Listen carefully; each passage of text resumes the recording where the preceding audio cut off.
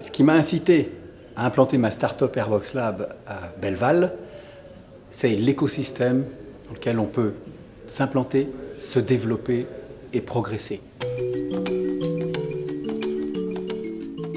Airbox Lab, c'est une start-up qui s'intéresse à l'Internet des objets.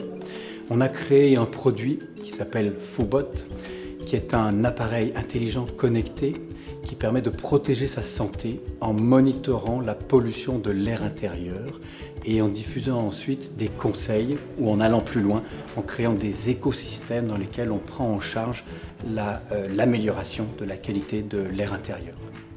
La première impression qu'on a quand on découvre Belleval, pour nous, c'était il y a il y a à peu près 16 euh, mois, entre 16 et 18 mois. Euh, d'abord, c'est un peu un chantier, on va se le cacher, mais on voit que c'est un, un, site en mutation complète, avec un vrai potentiel de devenir, avec encore une fois les, étudiants, les entreprises, euh, et qui crée une, plateforme, un écosystème qui va être extrêmement favorable à l'écosystème start-up. L'écosystème du, du, Technoport, c'est à la fois un incubateur, un lieu de rencontre, un lieu d'événement, et c'est aussi un lieu où il y a un Fab Lab, donc un atelier où on peut faire du prototypage. Start-up innovante, c'est aussi ce qu'on appelle la mise à l'échelle, la scalability, c'est aussi l'international. Et le Luxembourg est une excellente place pour l'international.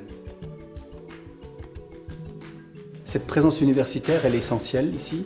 Euh, alors, dans notre cas, on est arrivé un petit peu avant, puisque la rentrée va avoir lieu, et on avait entamé, commencé une, collaboration avec ce qui est devenu maintenant le, LIST. Euh, mais je suis convaincu que pour, nous, comme pour les futures startups, ce sera un, apport euh, formidable d'avoir à la fois ces chercheurs, ces étudiants, en rencontre et avec les, avec les startups pour sans doute envisager plus de collaborations parce qu'on pourra faire des collaborations à différents niveaux peut-être aussi des collaborations autant informelles que formelles avec, euh, avec les centres de recherche. Et pour ça, c'est absolument idéal.